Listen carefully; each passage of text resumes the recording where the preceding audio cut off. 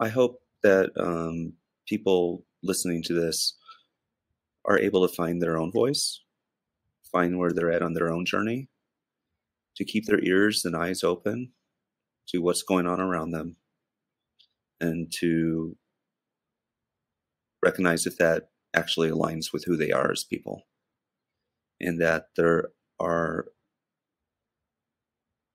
situations like we talk about cult dynamics that are at play. And just keep checking in with yourself and seeing what aligns with you and what doesn't. And to not let your voice be silenced if you dare to disagree with what is being told to you. To trust your intuition.